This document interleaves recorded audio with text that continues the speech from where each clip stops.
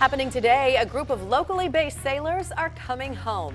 Hundreds of families are getting ready this morning, anxiously awaiting their loved ones' return. Sailors aboard the USS McFaul will be back on land later today. 10 News Side's Kiahnna Patterson joins us live in Norfolk.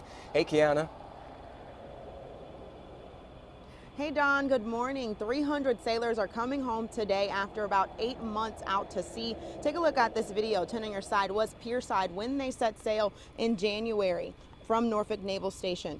Now today the guided missiles destroyer will come home and according to a Navy news site they say the ship was in the Persian Gulf performing security operations. McFaul's commanding officer Janet Days says she's been on six deployments but this is her first time holding that title and this is also the first deployment and now homecoming for more than 30 sailors all under 21 years old. So a big day for families and a proud day right before the weekend. We'll have pictures from that homecoming a little later on wavy.com.